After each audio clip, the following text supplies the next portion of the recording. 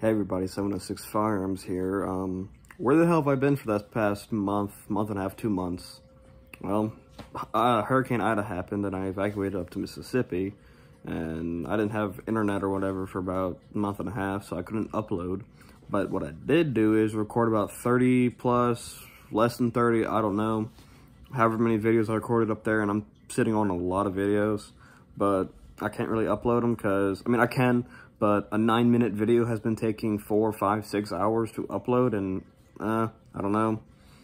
But honestly, like I don't get me wrong, I enjoy making YouTube content. It's fun as hell, even though I picked probably one of the most unpopular con uh, content subjects to uh, upload. But I mean, I enjoy making it. My friends enjoy watching it, I think. I don't know. Uh, but yeah, no, anyway. So that's where I've been. I've been evacuated, got home a while ago. I got home a while ago and got internet back a while ago too. But yeah, as of recording this, this is October 17th, and happy birthday to me. Yay, I'm 16 years old. But yeah, no, so I mean, I'm gonna probably start uploading some of those videos pretty soon.